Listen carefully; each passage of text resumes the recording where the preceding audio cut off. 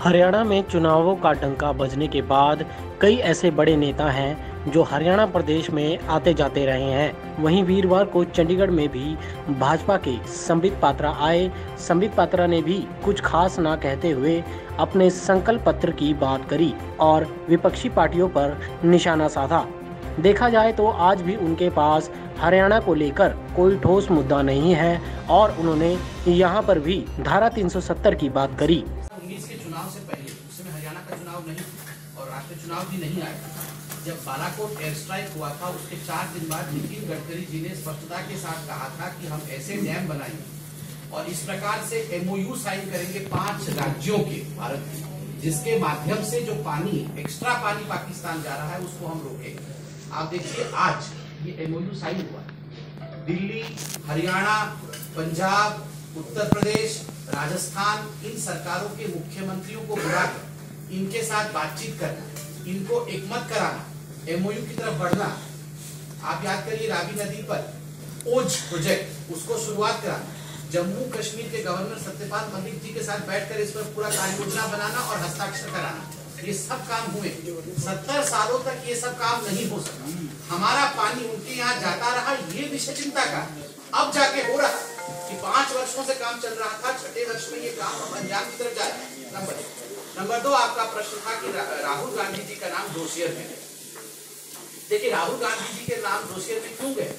राहुल गांधी जी ने कहा था अपने सीएलसीसी डब्ल्यूसी जो Congress non working committee working committee Congress working committee की मीटिंग से बाहर निकलकर उन्होंने कहा था कि जम्मू कश्मीर में लोगों की हत्याएँ हो रही।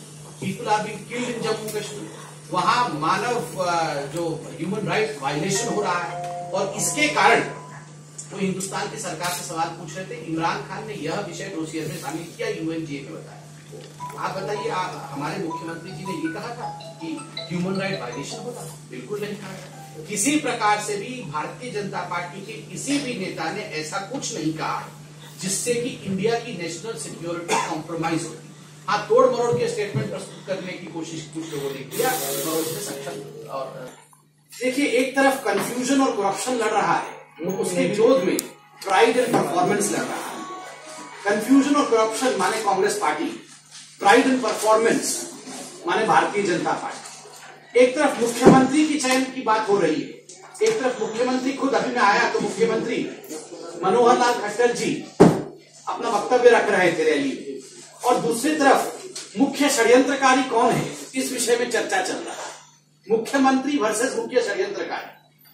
मुख्यमंत्री जो परफॉर्म करता है, जो हरियाणा का प्राइड है, भारतीय जनता पार्टी के मनोहर लाल खट्टर साहब, और जहाँ तक मुख्य षड्यंत्रकारी का सवाल है, दूसरी ओर आप आप देख रहे हैं षड्यंत्र हो रहा है परिवार के अंदर, दादा और पोते में लड़ाई हो रही है। षड्यंत्र हो रहा है कांग्रेस पार्टी के अंदर की आखिरकार कौन सी कांग्रेस पार्टी असली कांग्रेस पार्टी है और किसको वोट देना है? तो इस कारण से मैं कहना चाहूँगा कि इस इलेक्शन में एक कॉम्पिटिटिवनेस जो होना चाहिए और एक एक माहौल जो होता है वो इसलिए नहीं है, क्योंकि कोई कंपटीशन ही नहीं है, कोई प्रतिस्पर्धा ही नहीं है। एक तरफा रिज़ल्ट जारी। बंधुगण, पीछे लिखा भी हुआ है, अब की बार पिछहत्तर पार। आम आदमी जो हरियाणा का है, किस प्रकार उसको सरकारी योजनाओं का फ़ायदा बिना जाति देखे, बिना उसका चेहरा देखे, बिना उसकी पार्टी देखे, बिना उसका धर्म देखे, किस प्रकार ये पहुँच सके? मनोहर लाल खट्टर जी उसकी ये कार्रवाई कर रहे हैं। देखिए, कुछ जेल में, कुछ बेल में और बाकी जो बचे हैं वो टकराव के खेल कुछ जेल में आप जानते हैं कौन जेल कुछ जेल में, कुछ बेल में। वैसे आजकल जीके के क्वेश्चंस पूछे जा रहे हैं कि name one single Congress leader who is not out on bail कोई भी एक ऐसा कांग्रेस लीडर बताइए जो आज बेल पे बाहर नहीं। चाहे हुडा साहब हो, चाहे किसी को भी आप देख लीजिए कांग्रेस में अधिकांश कांग्रेस के लोग आज बेल पे बाहर कुछ जेल में, कुछ बेल में। बाकी जो बचे हैं, वो टकराव के खेल में। वो आपस में टक्कर एक दूसरे का कर रहे हैं। आपस में ही एक दूसरे के विरोध में लड़ रहे हैं। कांग्रेस पार्टी है तो आठ कांग्रेस पार्टी है। सोनिया कांग्रेस, राहुल कांग्रेस, खुद संजय निरुपम जी ने, अशोक तंवर जी ने बताया कि जो सोनिया जी की टीम है, वो राहुल जी की टीम के साथ उलझी हुई है। जिनको राहुल जी ने अपॉइंट किया था किस प्रकार से उनका पत्ता साफ़ कर सके उसके लिए सोनिया जी की टीम लगी हुई है। तो सोनिया कांग्रेस, राहुल कांग्रेस, रणदीप सुरजेवाला कांग्रेस, शैलजा कांग्रेस, बिश्नोई कांग्रेस, किरण चौधरी कांग्रेस, अशोक तंवर जी का कांग्रेस था, अभी मेरे ख्याल से वो दर दर भटक रहे हैं। पाँच करोड़ में टिकट बटने के बाद वो वहाँ से निकल गए। तो स्वाभाविक रूप से कांग्रेस पार्टी फैक्शन में बढ़ चुकी है, कांग्रेस पार्टी के अंदर ही टकराव है। कि ना कोई अर्जी, ना कोई खर्ची। कोई खर्ची नहीं और कोई अर्जी देने की आवश्यकता नहीं है, नौकरी मिलती है। ये अपने आप में बहुत बड़ा अचीवमेंट है। मनोहर लाल खट्टर जी इसके लिए बधाई के पात्र हैं।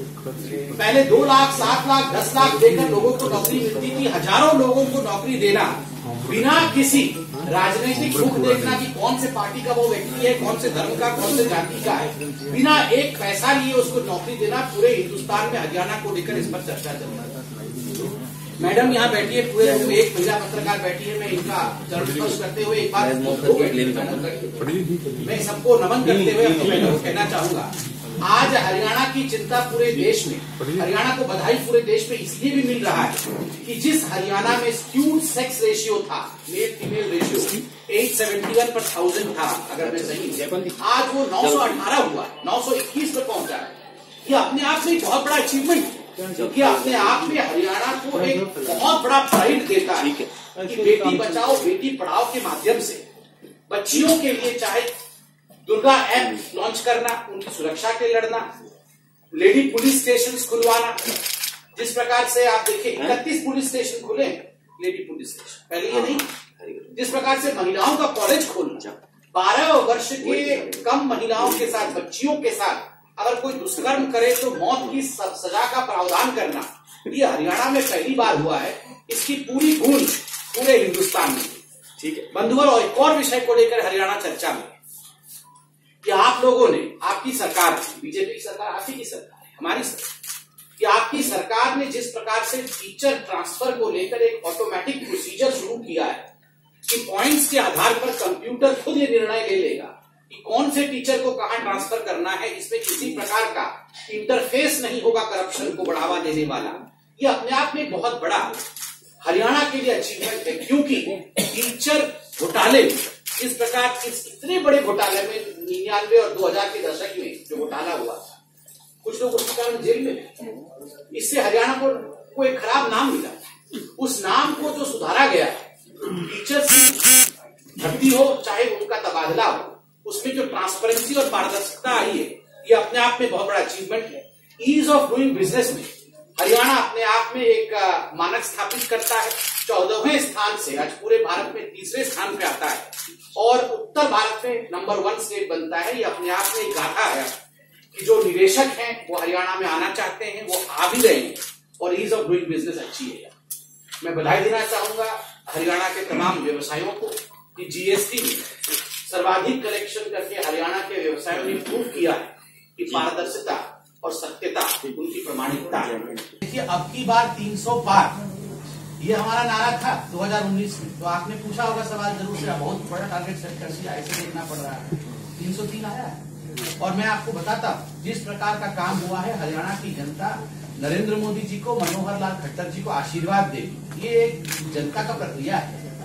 अपने विषय को लेकर जनता के मध्य में जाना। आपने कहा कि प्रधानमंत्री क्यों आ रहे हमारे पास नेतृत्व है तो आएँगे, उनके पास नेतृत्व तो नहीं है। तो बड़ा सिंपल काम है।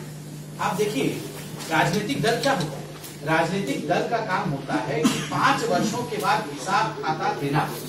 आप अकाउंटेबिलिटी आप अकाउंट देते हैं लोगों आपकी अकाउंटेबिलिटी है। प्रधानमंत्री की भी अकाउंटेबिलिटी है और मनोहर लाल खट्टर जो कि सीएम है, उनकी अकाउंटेबिलिटी है। यही तो डेमोक्रेसी है। चुनाव होता है तो चुनाव के पर्व में प्रधानमंत्री हो, नेता के रूप में, चाहे मनोहर लाल खट्टर जी सीएम के रूप में, उनका कर्तव्य है कि वो जनता से रूबरू हो, जनता के सवालों को ले, जनता को जवाब दे, अपना रिपोर्ट कार्ड प्रस्तुत करे, भविष्य में किस प्रकार से राज्यों को आगे ले जा सके, उस पर अपना प्रतिपादन रखे, यही तो लोकतंत्र है। हमारे पास आज गर्व का विषय है कि ऐसे नेता हैं जो आते हैं, मगर मैं दूसरों से पूछ रहा हूँ, उनके पास नेता क्यों नहीं आने की तीन सौ सत्तर पे आपने सवाल पूछा कि हम आगे नहीं जा रहे देखिए बंधुवर, अभी भी, अभी आने से दो मिनट पहले, मेरे ख्याल से ये प्रेस कॉन्फ्रेंस चल रहा है तो खट्टर साहब बोल भी गए तो 370 पे ऐसा है कि यह एक नेशनल इशू है।